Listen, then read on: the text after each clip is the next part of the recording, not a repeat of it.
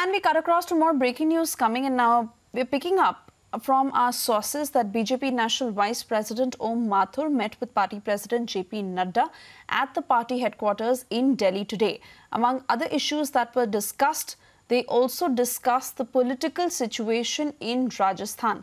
I want to bring in my colleague Himanshu, who's tracking all the details on the same because Himanshu, while the matter is underway in the Rajasthan High Court today, also being that day when the SOG sent a notice to Union Minister uh, on the tape gate scandal. And uh, Gajendra Singh Shekhawat making it very clear that these are mere allegations and he has refuted all of that. Now, the SOG also wanting to record his voice sample. But uh, when it comes to this particular meeting that has happened at the BJP headquarters, what really was discussed here? जी बिल्कुल देखिए, जिस तरीके से राजस्थान में राजनीतिक situation बनी हुई है, जिस तरीके से लगातार गहलोत और सचिन पायलट के बीच में न्यायालय में जंग चल रही है, उस दौरान बीजेपी इस पर पूरे, इस पूरे प्रकरण पर अपनी नज़र बनाकर रखे हुए है।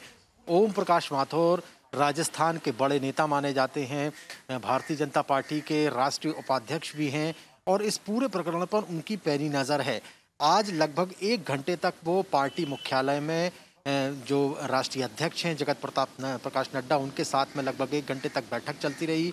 सूत्रों द्वारा हमें ये जानकारी मिली है कि जेपी नड्डा को ओम माथुर ने राजस्थान की वर्तमान राजनीति के बारे में पूरे तरीके से ब्रीफ किया है। किस तरीके से बीजेपी का स्टैंड है? जैसा कि हमने पहले देखा है कि जो शेखावत हैं, उनके ऊपर तमाम आरोप लगाए गए कि उन्होंने टेप उनके, उनकी ऑडियो टेप जारी कर दी गई है। कांग्रेस पार्टी की तरफ़ से एसओजी जो है, उसने नोटिस जारी कर दिया है। उस टेप में उनकी आवाज़ है, नहीं है। भारतीय जनता पार्टी की तरफ़ से क्या एफर्ट किया गया है?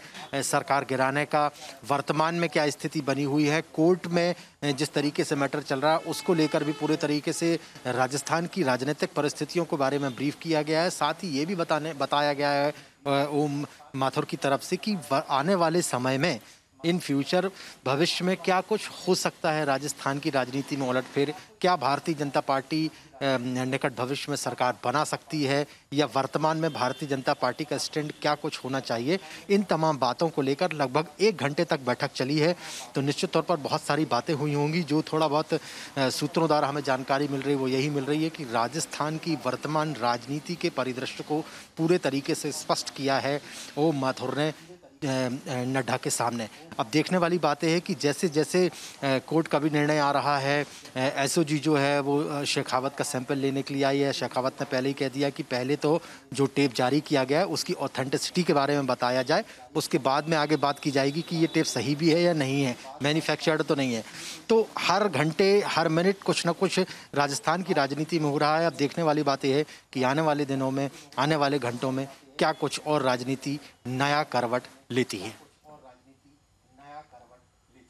Absolutely Himanshu and rightfully so, the BJP certainly keeping a very close watch, uh, especially because the tension still prevails between both the Sachin Pilot camp and the Ashok Gehlot camp.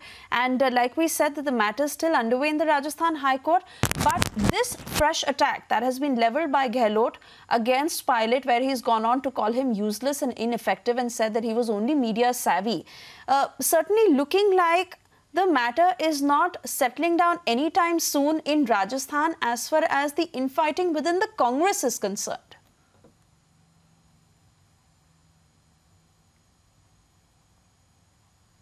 बिल्कुल कांग्रेस के दृष्टिकोण से यदि देखा जाए तो BJP ने भी इस पूरे मामले पर चुटकी ली है। जिस तरीके से गहलोत ने एक बयानबाजी की, गहलोत ने बोला कि मैं यहाँ सब्ज़ी बेचने के लिए थोड़ी आया हूँ, राजनीति करने के लिए आया हूँ तो राजनीति कर रहा हूँ और सचिन पायलट नाकारा है, निकम्मा है, उनका ज़ीरो योगदान रहा है राजस्थान की राजनीति में। बीजेपी ने भी इस पूरे विषय पर चुटकी ली हमने जब बीजेपी के राष्ट्रीय प्रवक्ता और सांसद सुधांशु त्रिवेदी से जब इस इस बाबत पूछा कि जो गहलोत है वो इस तरीके की बयानबाजी कर रहे हैं तो उन्होंने बस यही कहा कि यदि हम्म। युद्ध लड़ना ही है यदि पहलवानों की कमी बाहर पड़ रही हो तो घर में भी कमी नहीं है घर में भी बहुत सारे पहलवान हैं ये उनका आपसी विषय है एक दूसरे से मल्ल युद्ध लड़ रहे हैं तो बीजेपी फ़िलहाल जिस तरीके की बयानबाजी कांग्रेस पार्टी के अंदर चल रही है जिस तरीके से गहलोत बोल रहे हैं सचिन पायलट हालाँकि बहुत ज़्यादा उन्होंने कुछ बोला नहीं है लेकिन गहलोत जिस तरीके से लगातार बयानबाजी कर रहे हैं उसका मज़ा भारतीय जनता पार्टी भी ले रही चुटकी ले रही है। वो कह रही कि आपस में ही घर के अंदर ही मल्ल युद्ध जारी है। अब देखने वाली बात यह कि ये कहाँ तक पहुँचता है।